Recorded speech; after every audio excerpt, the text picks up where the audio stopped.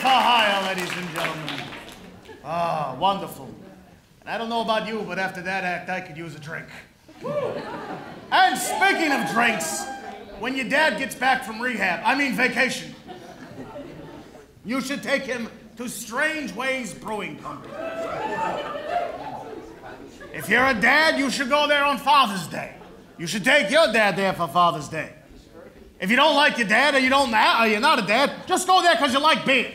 Strangeways Brewing Company will have beer, barbecue, live music, a mobile humidor all day on Father's Day.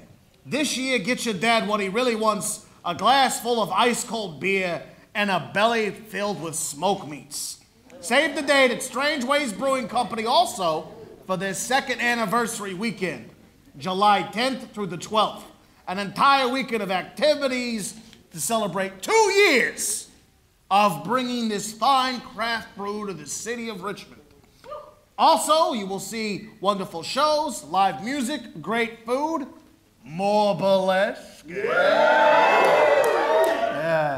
And superb craft beer. I recommend the Guar It's beautiful. It's tasty. It's an IPA. It's beautiful. They're so perky. I love that. Not my line, but good here. All right. Back to the story. Are you ready?